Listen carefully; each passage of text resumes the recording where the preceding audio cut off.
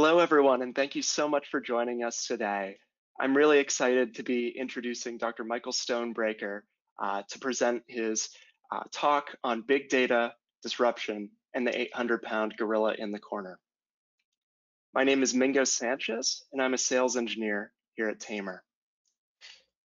Mike is an adjunct professor at MIT CSAIL and a pioneer of databases who specializes in database management systems and data integration. In 2014, the Association for Computing Machinery awarded him the Turing Award, often known as the Nobel Prize of Computing, for his fundamental contributions to the concepts and practices underlying modern database systems, as well as their practical application through several startup companies that he founded. And without any further ado, Mike, uh, I'm going to turn it over to you. Uh, thanks, Mingo.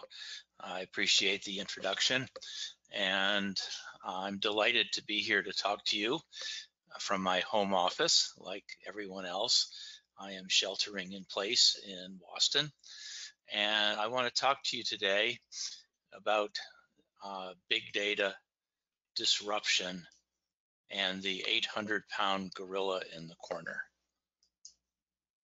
and the slides don't advance. Oh, there they go. Okay, so what's big data all about? Uh, it's come to be common to talk about it as one of the three V's. So either you've got a big data problem because you've got too much of it, you've got a volume problem, that's the first V. And if you've got a volume problem, it could be because you're trying to do simple uh, SQL style analytics, or it could be you have a volume problem because you're trying to do more sophisticated analytics that are not in SQL. So we'll talk about both of those cases. Uh, you could have a big data problem because the data is coming at you too fast and you've got a velocity problem. You're trying to drink from a fire hose. So we'll talk about the second V uh, which is velocity. And the third V is if you're trying, if your data is coming at you from too many places and you've got a, a large number of diverse data sources to integrate. In each case, I will tell you what I think the issues are, which is what you should be aware of.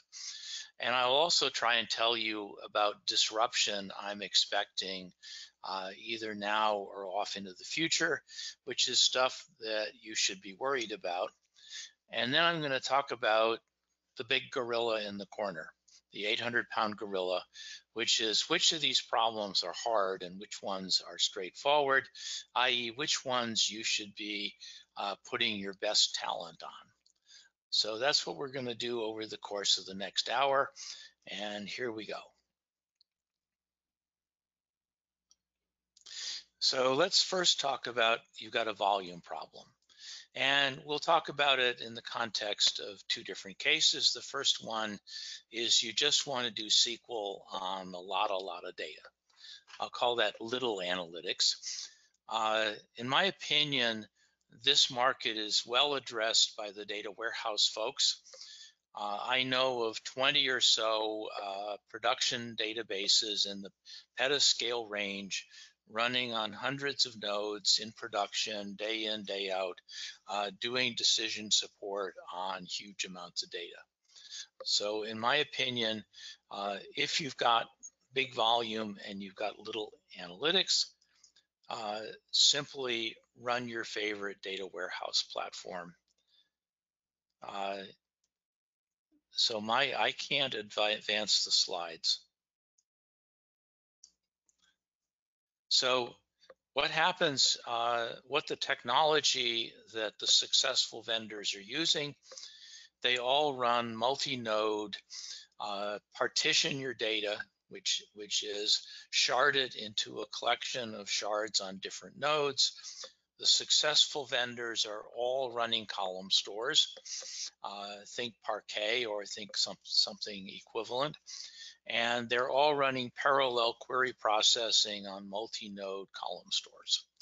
Uh, and that's all the data warehouse vendors. They've all converted to this architecture from whatever they had before. And the only exception is Oracle, uh, which and their Oracle marketing says they have a column store, but in fact, it's a main memory column store. It's not a not a scalable column store. So, or and Oracle does not have a multi-node solution either. So, everybody other than Oracle has roughly the same architecture and has successful implementations in the petascale range. So, in my opinion, there's no gorilla here simply run one of the successful uh, data warehouse vendors. Uh, and so the only thing I want to talk about is two disruptors that I see are looming uh, in, in this market. So the first disruptor, first disruptor is the cloud. So everybody is going to move their decision support stuff to the cloud sooner or later. Why is that going to happen? Well, I just want to tell you two quick vignettes. The first one is from James Hamilton, who's a distinguished engineer at Amazon. Uh, James claims, and I have no reason to dispute this, that he can stand up a server at 25% of your cost. So, you know, the cloud guys are wildly cheaper than you're going to be. And why is that? Well, for a starter, they're they're running millions of nodes and you're running uh, a few thousand. Uh, second thing is they're locating uh, their data centers in places of cheap electricity and you're putting them on raised flooring in Boston, Massachusetts or wherever. So just the economies of scale are worth a lot here. Second vignette is from Dave DeWitt, who until recently was the head of the Jim Gray Systems Lab for Microsoft. So as of a couple years ago, here is the technology that Azure was using for data centers. Uh, data centers are shipping containers in a parking lot. Uh, chilled water going in, electricity going in, internet going in, otherwise sealed. Uh, and line, line up shipping containers in a parking lot. Roof and walls are optional. They're only there if you need them for security. So compare that with whatever you're doing for data centers, and I guarantee they will be cheaper. So the cloud is going to be wildly cheaper. Uh, that isn't necessarily true today, but uh, competition is going to uh, send send cloud prices. Uh, it'll be a race to the bottom, and they will be cheaper than you are either now or in the near future. So you should be planning on moving decision support to the cloud as aggressively as you can. Uh, and so that's just economics. The other really nice thing is that uh, the cloud, the on the cloud, it turns out that uh, elasticity is possible, which is on a query by query basis, you can decide to allocate five nodes or 500 nodes or 5,000 nodes. So you can elastically configure the resources that you're applying to your problem uh, on a query by query basis. Uh, that's true for Snowflake right now, and all the other vendors are moving aggressively in this direction. So not only do you get cheaper prices, but you get uh, resource elasticity. So the cloud is inevitable, so get going on it. But you've got to be a little bit smart. So just for example, uh, Amazon Web Services plays by a different set of rules. First of all, uh, you can use storage from a thing called S3, which is a distributed file system. You can also uh, store stuff in the Enterprise Block Store, EBS. S3 has a dramatic pricing advantage relative to EBS. Uh, that pricing advantage has nothing to do with the cost of resources. It's completely artificial. This is simply uh, AWS's uh, business model. Uh, another thing you have to keep in mind is that the house solutions, uh, you know, their software is favored over third-party software for all kinds of subtle and not so subtle reasons. So just keep that in mind. And then the other thing that's really uh, an issue you'll have to deal with is resources come in uh, at least 50 different bundles, which are usually called t-shirt sizes. You have to decide which of 50 t-shirt sizes you want to apply uh, to your problem. So cloud architecture is going to be a problem, which is how to use cloud services uh, as economically as possible. So get going on moving to the cloud. So that was the first disruptor. Now the second disruptor, which is going to be even more significant, is the data warehouses are yesterday's issue. So what's guaranteed to happen is that data science will supersede business intelligence. So business intelligence is data warehouse stuff, business objects, uh, you know, all that, all of those kind of apps, which are nice front ends on the front of SQL that allow you to run uh, SQL decision support queries. So data science is going to take over. So data scientists will replace business analysts as soon as you guys, enterprises, can hire enough competent data scientists. So why is that going to happen? Well, here's the reason. So in the 2007 hurricane season, uh, there were four hurricanes in Florida.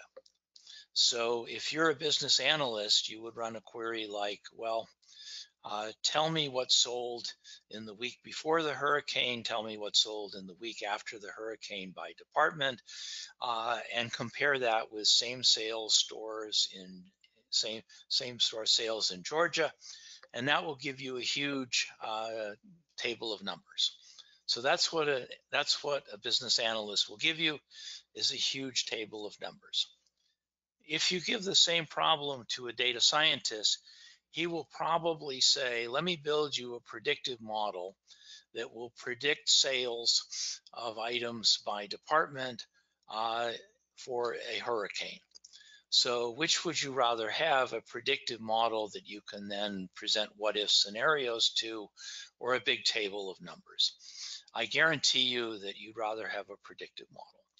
So predictive models are going to replace uh, simple uh, tables of numbers as soon as you guys can hi hire enough data scientists, which is as soon as uh, universities can uh, churn out data scientists with the requisite uh, skills. So what exactly is data science? Uh, well, the first thing, which, which is everyone's favorite thing to talk about right now is machine learning. So machine learning is one of two things.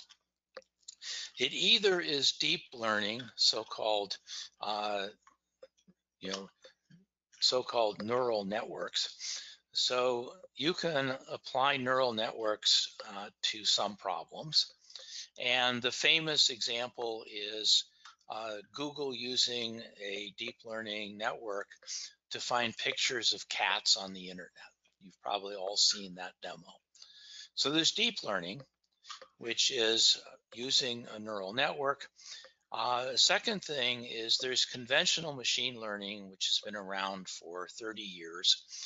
And that's things like uh, Bayesian networks, things like discrimination networks, and so forth. Uh, and so you can run one of two technologies. I just want to remind you that deep learning is not going to take over the world. Uh, there are two big reasons why that's not going to happen. First of all, they require way too much training data for a lot of applications. So millions and millions of pieces of training data are required to train a deep learning model.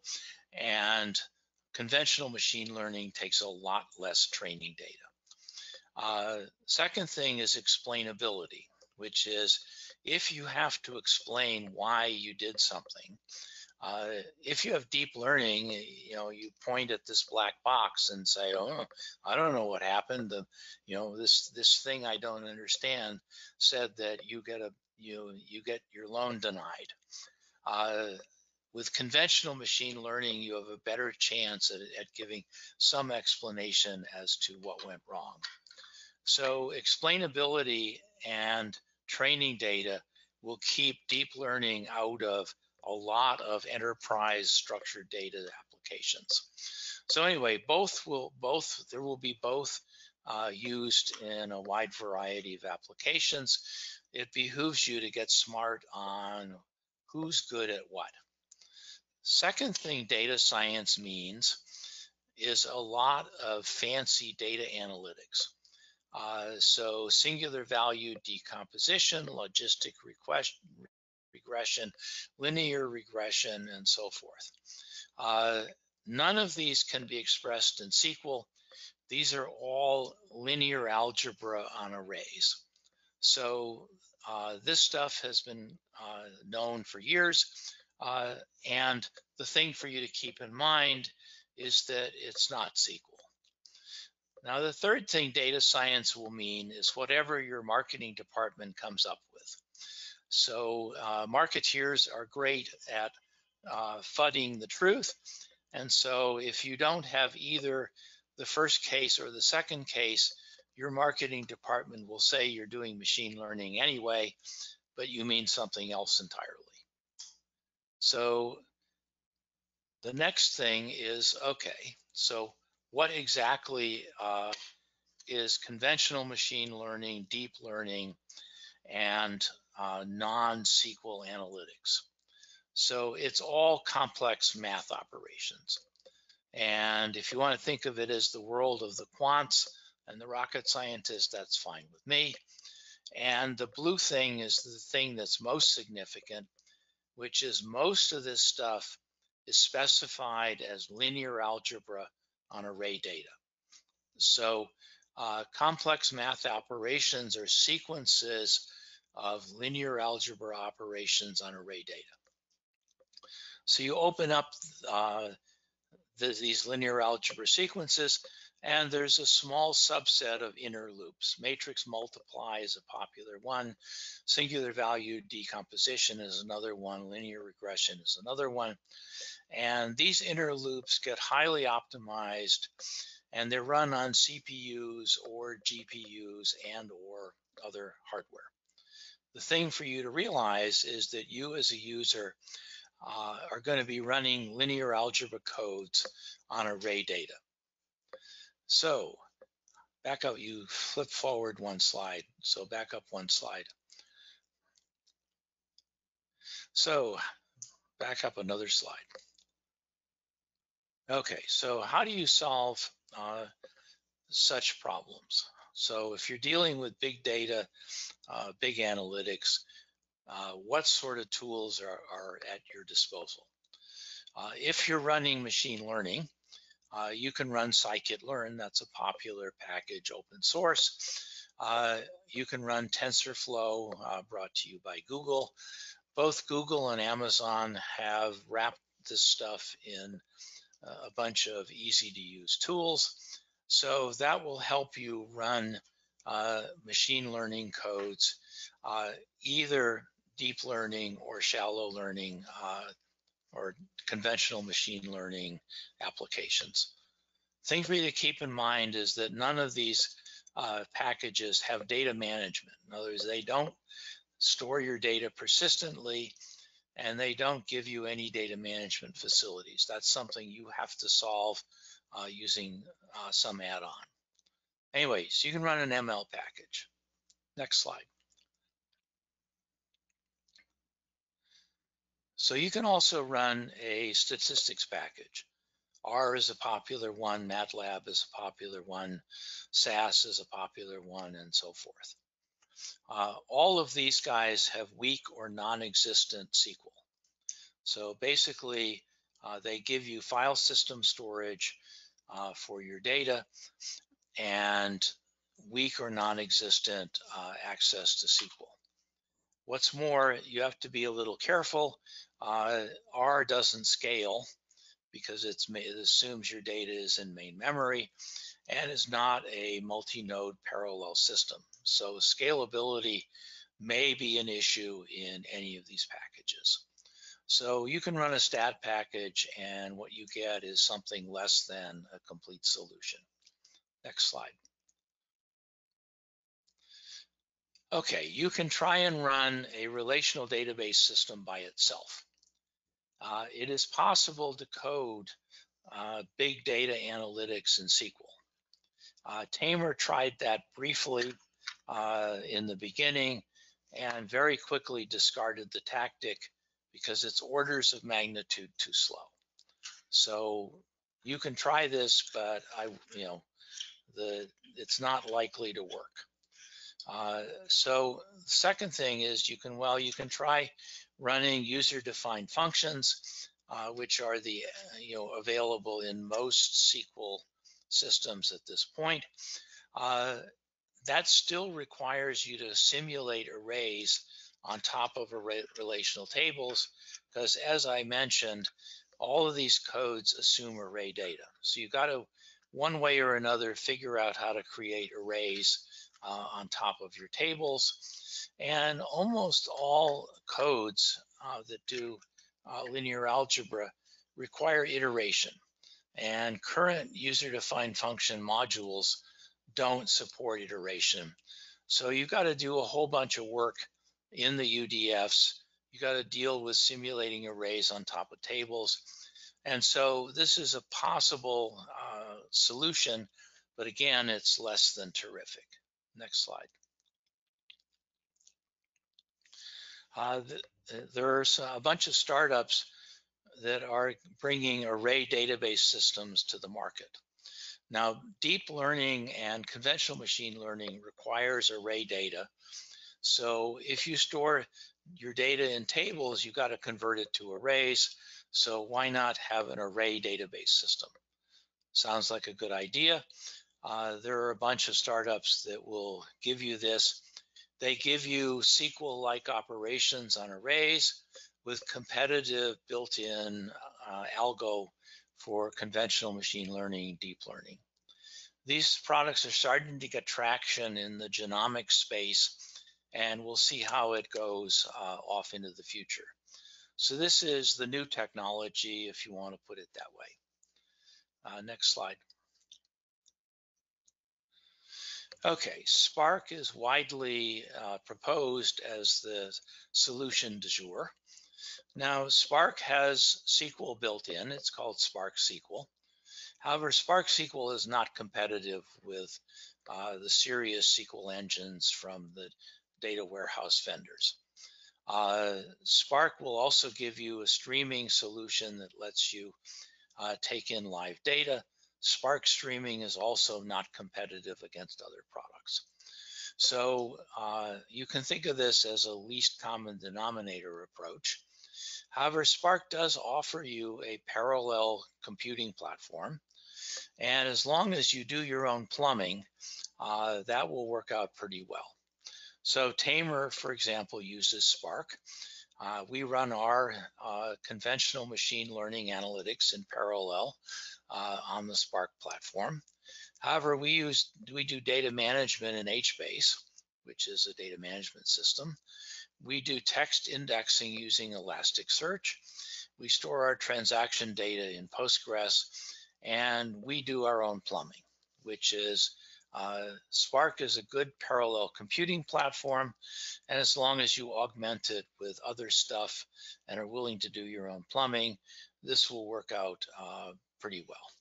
Next slide. Now, I, I love to beat up MapReduce. Uh, MapReduce got rebranded, well, it got re-implemented by Yahoo and called Hadoop a long time ago. And so MapReduce to me is synonymous with Hadoop. Uh, MapReduce is not good for anything.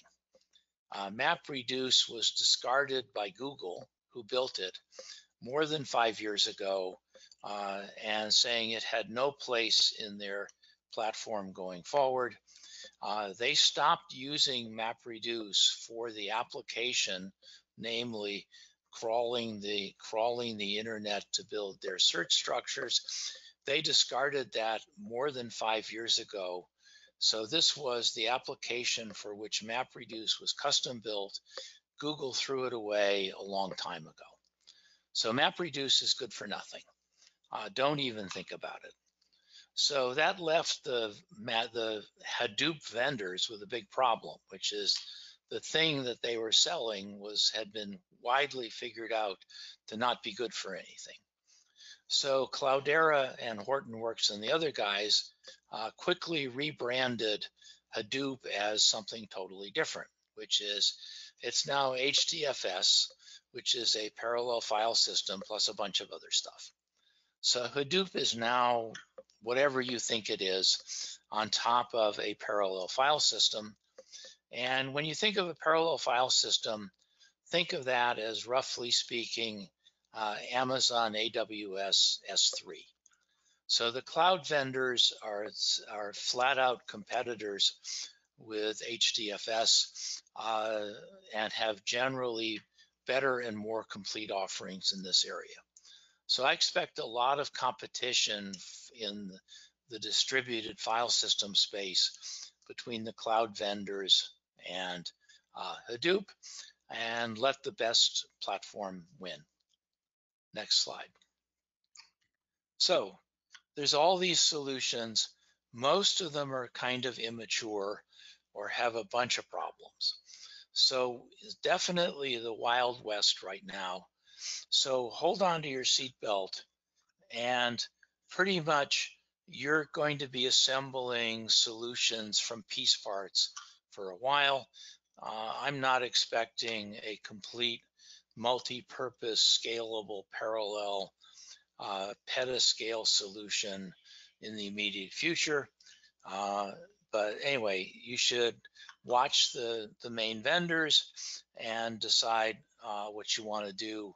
Uh, but in terms of this space, get going on getting smart at the very least. Next slide. Okay, so let's now move to big velocity. So that is your data is coming at you too fast. And there are applications where the velocity of data is going up. So sensor tagging everything of value sends velocity through the roof. So there are a whole bunch of vendors who are saying, put a gizmo on your cell phone and I will adjust your insurance rates depending on how you drive and where you drive. And they are reporting uh, your position and other aspects of your car uh, 20 or 30 times a second. Sense velocity through the roof.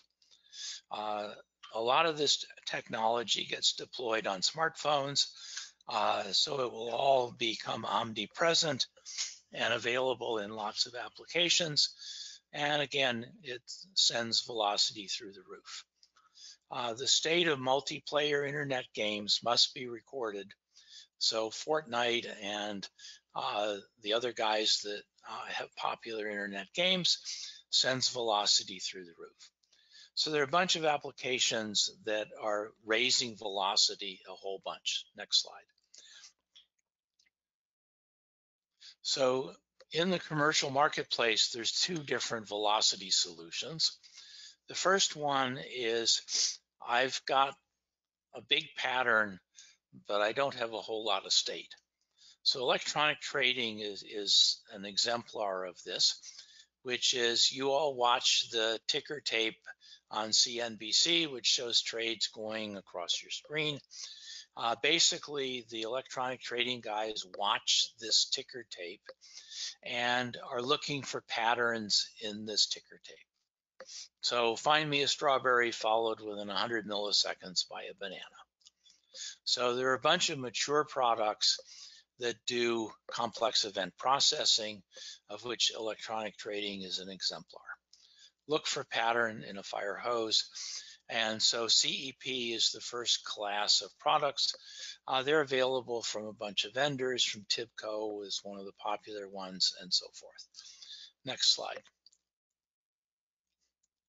The other,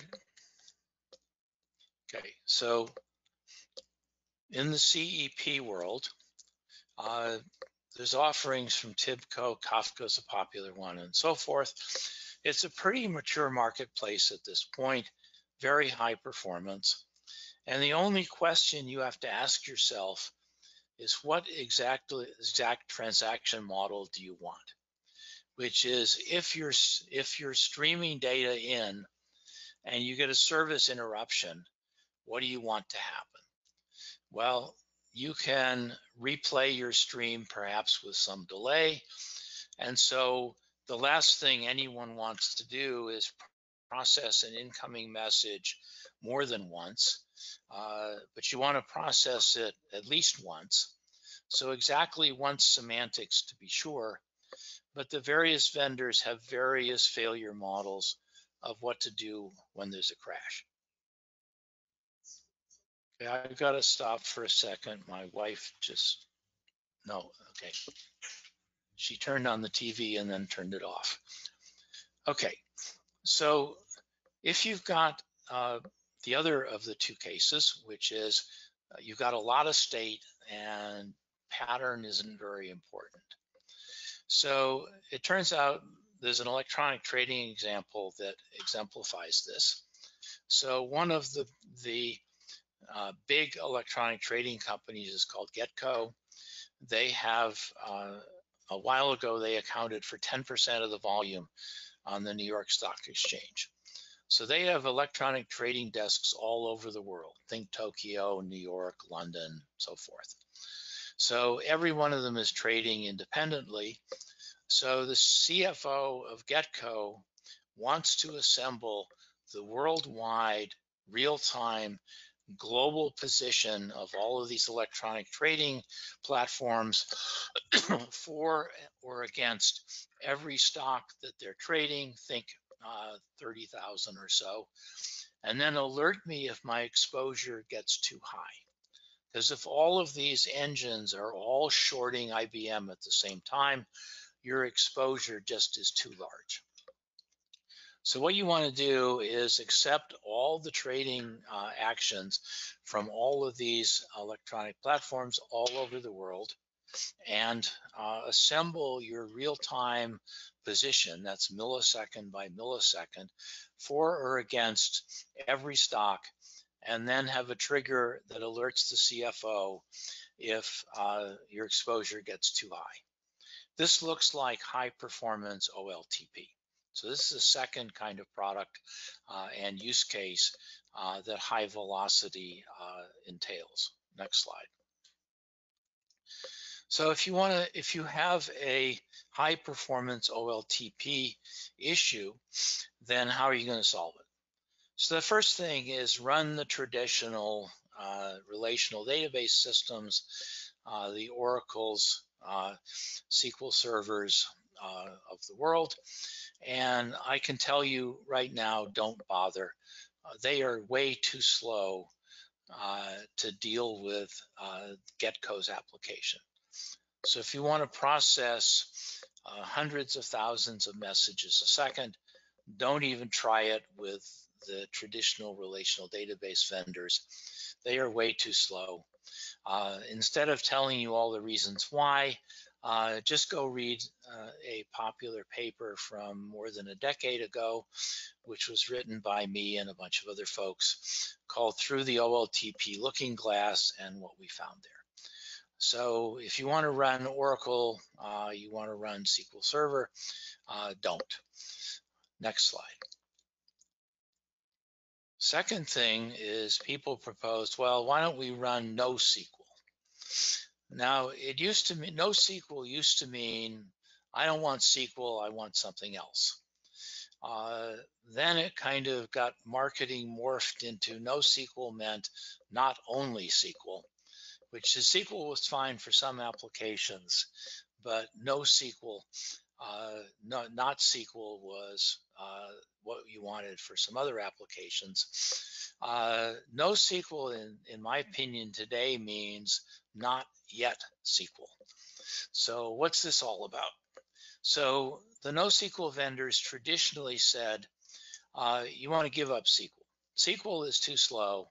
So we're going to ask you to implement uh, actions in a lower level uh, language. And the relational database guys look at this and say, uh, you guys want to go back to CODASYL and IMS from the 1970s, which is the way to specify interactions with a database is in a high level declarative language, not by coding a bunch of low level storage uh, directives. So it's interesting to note that Cassandra and Mongo, which are popular products in the NoSQL space, uh, are realizing that users do not want to code these low level utterances and are moving to, yep, SQL. Uh, they don't quite call it SQL, but unless you squint, it's basically SQL. Second thing they say is that you got to give up on ACID, give up on transactions. Uh, transactions are just too slow. Now, I just want to caution you that if you need ACID and, and your database system doesn't give it to you, you are toast. Uh, it's a decision to tear your hair out uh, by having to do it yourself. And if you give up ACID now, can you guarantee that you won't need it tomorrow? So I think giving up on ACID is a dangerous, dangerous thing to do. And in fact, the most recent uh, release of Mongo is starting to add transactions into Mongo. Next slide. Okay, the third option is what's come to be called NewSQL, uh, which is uh, run a database system that keeps transactions and keeps SQL, but goes fast. That means use main memory, don't use don't use uh, disk storage, and use a different uh, transaction implementation other than the one used by the elephants uh, because the elephants transactions are too slow, their buffer pool, disk buffer pool is too slow. Their, implement, their implementations are totally flawed to go fast, but the basic idea behind uh, transactions in SQL are good ones. So there are products from from Microsoft that do this. IBM has a product, VoltDB, MemSQL.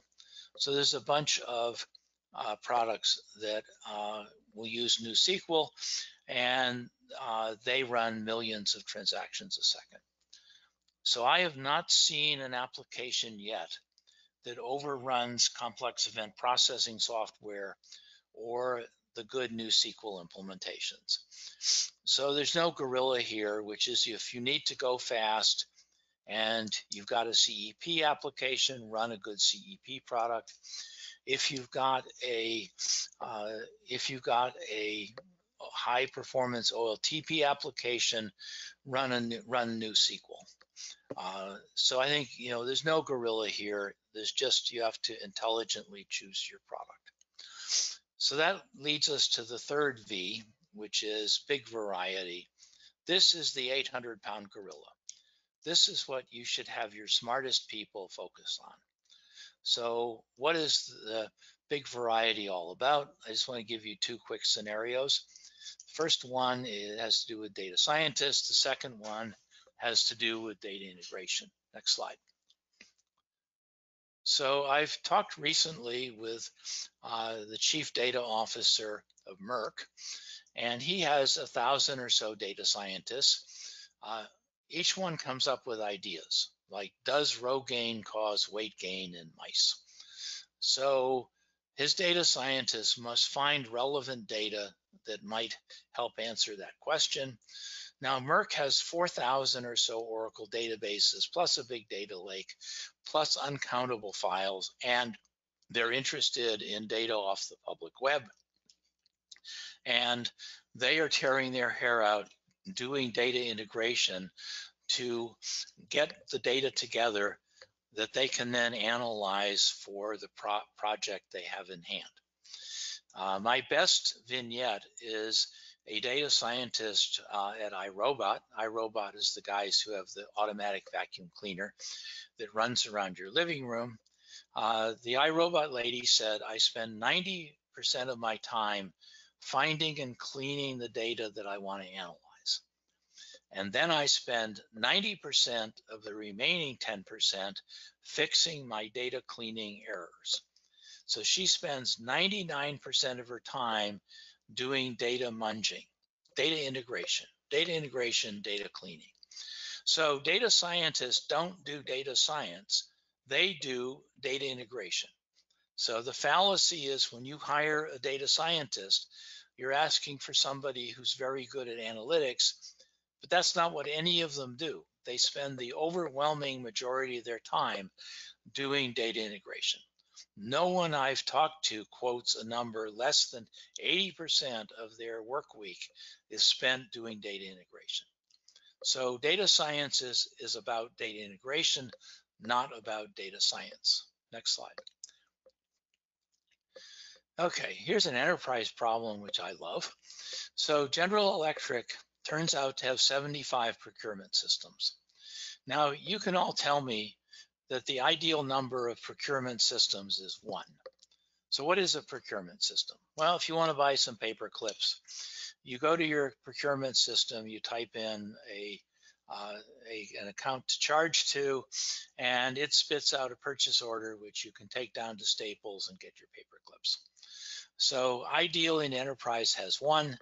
If you work for a you know, well-run enterprise, chances are you have a very small number of procurement systems. GE has 75. Why do they have 75? Well, they've largely grown by acquiring other companies, and companies come with a procurement system, and unless you aggressively stamp them out, you get a bunch of them. So the GE CFO estimates that GE can save $100 million a year if it just does the following. Each of the 75 procurement officers, uh, if when their contract with Staples comes up for renewal, if they can find what the other 74 of their counterparts negotiated in terms of uh, terms and conditions, and then they demand most favored nation status. So if GE can do this, which is just demand most favored nation status among the other GE's uh, GE procurement systems, that would save 75, they would save $100 million a year. That requires integrating 75 independently constructed supplier databases. So you got to find all the various different uh, instances of staples, however they're called and whatever their address is, and then find out their terms and conditions. Now you might say, well, isn't isn't this just a matter of finding staples and a few other office supply guys? No, uh, GE is already pretty good at uh, doing the very, very popular uh, supplier issues. This is all in the long tail.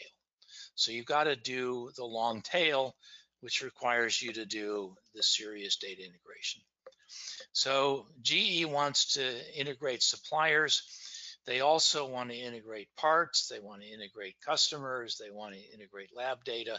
Most enterprises want to do that what's called data mastering of all of these popular kinds of things. So GE can save a lot of money by solving their data integration problems. Next slide. In either case, either data science or uh, enterprise data, uh, for each data source, you've got to go out, ingest the source, figure out what it is, uh, move it into your data lake or wherever you're going to do this uh, data integration, perform transformations because in Europe it's in euros, in the US it's in dollars, you got to clean your data because a rule of thumb is that 10% of your data is wrong or missing. And if you do analytics on dirty data, you're going to get garbage. You got to do schema integration, which is your wages is the same as my salary.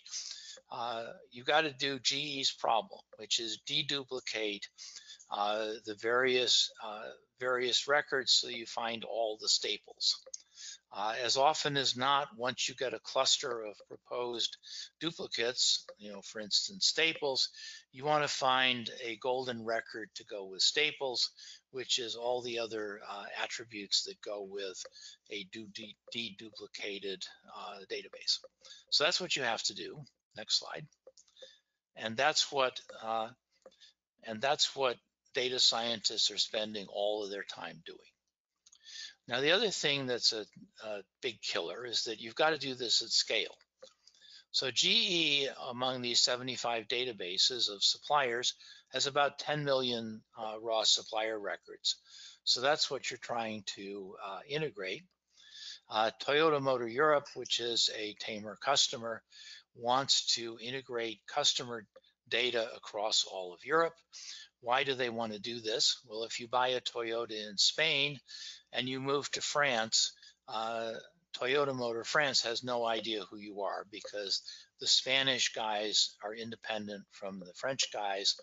So Toyota is in the process of building a Europe-wide database of customers so that they can do better customer support. There's about 30 million of them, so they've got to do this at scale. So do not even think about uh, running naive algorithms on your laptop in Python. At scale, this is serious business. Next slide. So here's the traditional solution. This is brought to you by Informatica, IBM, uh, the elephants, the traditional vendors. They say run an extract, transform, and load package, an ETL system. And once you get done doing that, then run master data management. And uh, the traditional solution is an ETL and an MDM. So ETL is flawed. Uh, it requires too much manual programming effort uh, because what you do is you send a programmer out to understand each local data source, figure out what's in it, and figure out how to how to construct a pipeline of transformation steps that will transform it uh, into a global schema. And by the way, you have to have constructed the global schema up front, and that's really difficult to do at scale. Second thing is that ETL is architected wrong. Because if you come across uh, Merck and you're in Europe and uh, you're trying to figure out is this is this the same as Merck in Italy? Well, you, the programmer, has no idea, and only a domain expert uh, knows how to, you know, what's a duplicate and what's not. And so just having a programmer do the whole pipeline uh, is simply flawed because he is incapable of making these domain decisions that are required to be made. Uh, so ETL is flawed uh, and MDM doesn't scale. So the next slide tells you why MDM doesn't scale. So once you've done, have done ETL, you've put all of your data together.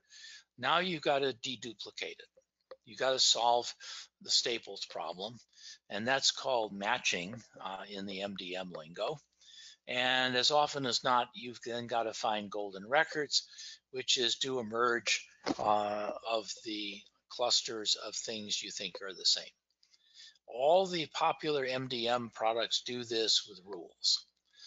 So a rule can be, well, if you have if you have uh, two records and they have the same company name, regardless of what the address is, they're probably the same. So those, so you start writing some rules. And it's simply well known that a human can grok about 500 rules. After that, the complexity just overwhelms you and you can't figure out what's going on. So you can do MDM up to about 500 rules, and then it just won't scale further. So GE had a classification problem they asked Tamr to help them with. Uh, they had a bunch of spend records. And a spend record is I took a taxi from over here to Logan Airport and I charged the company uh, 30 bucks for that ride. So that would be a spend record. So GE wanted to classify 20 million of them into a pre-existing hierarchy, which is they spend money on things. One of the things they spend money on is travel. A piece of travel is taxi and so forth. So they had a pre-existing classification hierarchy and they just wanted to classify uh, 20 million spend records. So they said, well, the traditional vendors said do this with MDM. So they started writing rules. And they wrote about 500 rules. And that classified 2 million of the 20 million transactions. Now they at that point realized that they could not run five, they could not write 5,000 or 10,000 rules, so they could not scale, they could not scale the problem, uh, the solution to the size of the problem they had. So what what about the other 18 million? Next slide. So they asked Tamr for help. And so what did Tamr do? Well, Tamr has a machine learning system that does schema integration, deduplication, and golden value resolution. We used the 500 rules that they'd written, the result of that, as training data for a machine learning model which classified the other 18 million transactions. So at scale, you've got to use ML. You cannot use a rule system. It just isn't going to work. Next slide. So what's happening in, in the big variety space? Well, this is an 800 pound gorilla. It's killing most of you. Uh, there's a whole bunch of startups in this space, some oriented toward data preparation. That means extract, transform, and load. A few are focused on enterprise data integration. Those are usually the traditional vendors selling rule systems that aren't going to scale. Some of them are focused on text, some are focused on deep learning. This is the wild, wild west. Hold on to your seatbelt. But the thing to remember is that this is what's killing you. It's not big for big volume and it's not big velocity. Next slide. So just a summary, uh, machine learning will be omnipresent off into the future. Uh, big data, big analytics uh, that are not machine learning will be popular. Uh, you, will use some conventional machine learning, some deep learning, and some other analytic techniques. You're going to be in the complex analytics data science world. That's going to replace business intelligence as soon as we can train enough data scientists to do it both of these things will go nowhere without good data. If you if you put garbage into any of these models, you're going to get garbage out. Uh, and big da good data requires data integration at scale. This is the 800 pound gorilla in the corner. Put your best people on solving that. And if you want to talk to Tamr, uh, here we are. Uh, just just uh, ask Mingo how to how he can help you.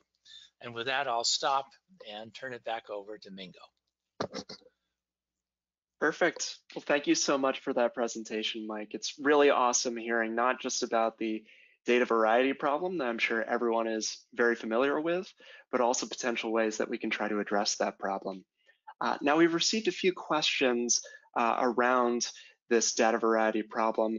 And uh, just to start things off, in the past week or so, a lot of organizations have been forced to enable their entire workforce to work from home uh, because of the coronavirus. This is having a huge impact on businesses, especially those that follow more traditional work patterns. Uh, so for those organizations, what advice would you have uh, as they're facing unplanned downtime or have had to close because of COVID-19? Uh, I well, yeah, we're we're all in the same situation, and I think you know the the the, the basic answer to that question is stay safe, uh, figure out how to practice social distancing, and so stay healthy. Uh, and if you can't stay healthy, nothing else matters. Past that, I think anything you can do to get leverage over your business problems, now's a great time to try and do that. And so get going on the big problems that I've discussed in this presentation, especially on, on the data variety problem. Yeah, that's great. And just as a follow-up to that, um, you mentioned some of these big problems that companies are facing out there and how now is a great time to be going after those problems. Do you have a favorite story about an organization using data mastering to solve one of these problems? Uh, sure. So, so, uh, so I think uh, I talked I talked about Toyota uh, and they are mastering customers. I talked about GE, which is mastering suppliers. So let me talk about a company that is mastering parts.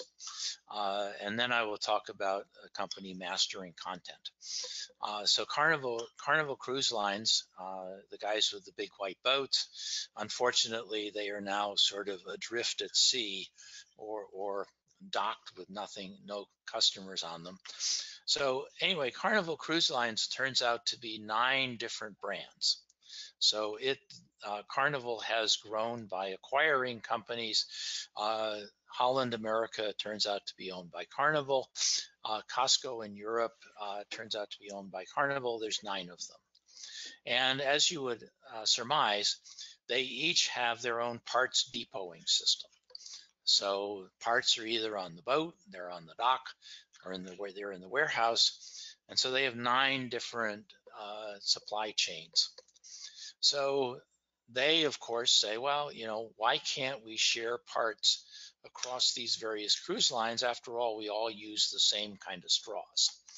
So they want to share parts uh, in their in these nine depoting systems. And that requires them to integrate nine different parts databases, uh, each written independently.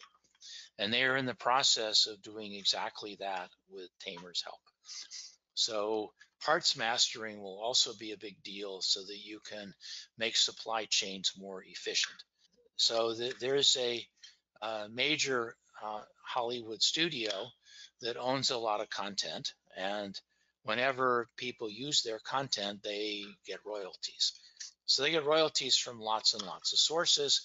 So they have to integrate many different sources that are licensing their content. So they started doing this about 10 years ago. And they said they, they drank the traditional Kool-Aid and decided to try a rule system. And they've written 10,000 rules with two people over the course of a decade. So I figure they have put in at least $5 million and they have a system with 10,000 rules that is unmaintainable and to add a new data source takes them a year. So they have a Rube Goldberg that is just falling over. So they are switching to Tamr uh, to do uh, basically content uh, mastering. Uh, so mastering is is done in a wide variety of business critical kinds of entities.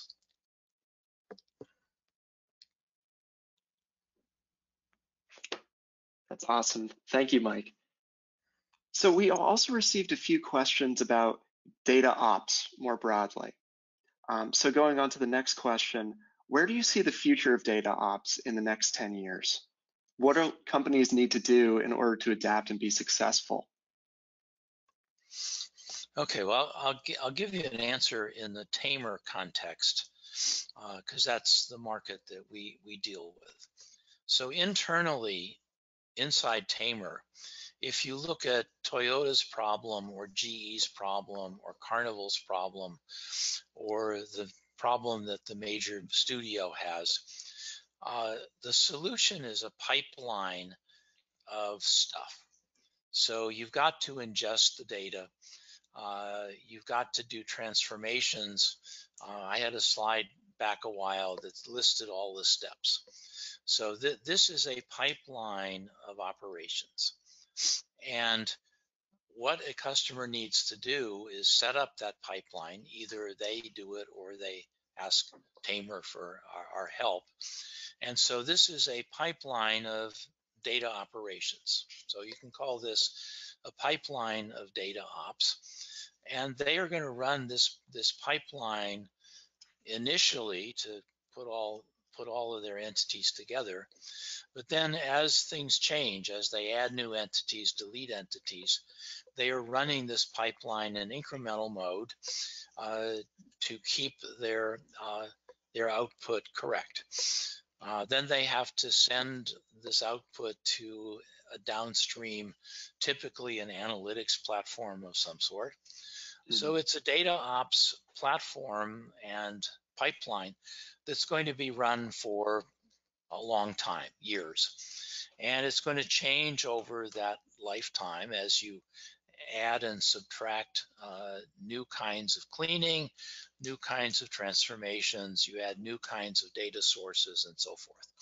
So data ops basically says, structure your problem as a sequence of these data operations, and then uh, then maintenance becomes a lot easier because you can add and drop uh, individual operations at will. So it's a very good way to think about uh, any data-oriented problems. Think of them as a pipeline of data ops. Mm -hmm. All right, well, once again, Mike, thank you so much for that presentation and going through some of this Q&A with us. And thank you to everyone who joined this webinar today. I hope this was informative and really helpful for uh, exploring the data variety problem that I'm sure so many of you are facing. If you have any additional questions or would like to learn more about Tamr or just the data problem as a whole, feel free to check out tamr.com uh, and get in touch with us to find out more. Thanks again and have a great day.